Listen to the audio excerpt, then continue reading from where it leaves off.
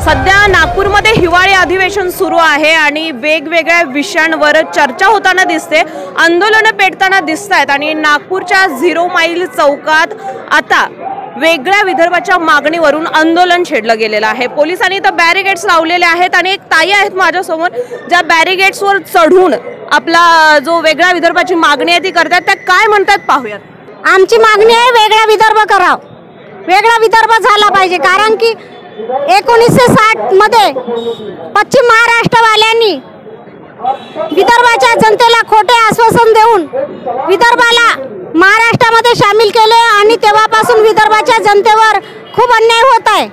विद पश्चिम पश्चिम महाराष्ट्रवाल्यांनी विदर्भाच्या जनतेला म्हटलं की आम्ही विदर्भाच्या जनतेला चार लाख गव्हर्मेंट नोकऱ्या आम्ही देऊ आणि सिंचनासाठी पण पन्नास हजार पन्नास हजार करोड रुपये देऊ आणि रस्त्यासाठी पन्नास हजार पंच्याहत्तर हजार करोड देऊ. असे विदर्भाच्या जनतेला अंधारामध्ये ठेवून त्यांनी विदर्भवाद्यांना पश्चिम महाराष्ट्रामध्ये सामील केले. तेव्हापासून खूप अन्याय होत आहे. खूप बेरोजगी बेरोजगारी वाढली आहे. महाराष्ट्रामध्ये वीज बिल सर्वात माग महाराष्ट्रामध्ये वीज बिल आहे.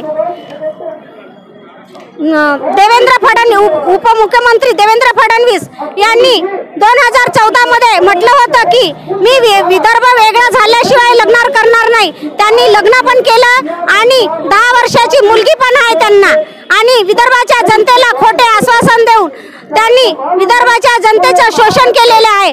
विदर्भामध्ये एवढी बेरोजगारी वाढली आहे की कोणी आत्महत्या शेतकरी आत्महत्या करत आहे.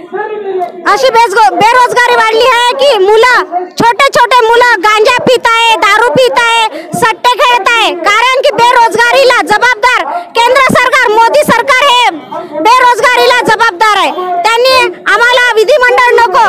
विकास मंडळ नको आम्हाला वेगळा विदर्भ पाहिजे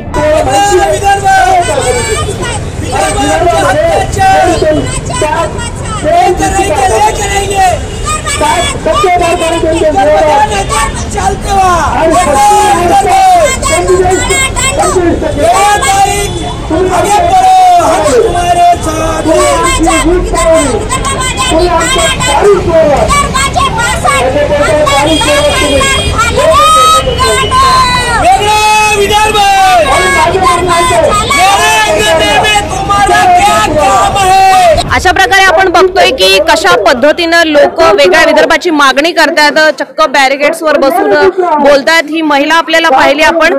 त्याबरोबर या बॅरिगेट्सच्या माग अधिवेशनाला भरपूर लोक आहेत. आपण तिकडे पण जाणार आहोत. तुर्तास आपण इथंच थांबूया. मी भाग्यश्री पाटील मॅक्स महाराष्ट्र. तुम्ही पाहत राहा. धन्यवाद.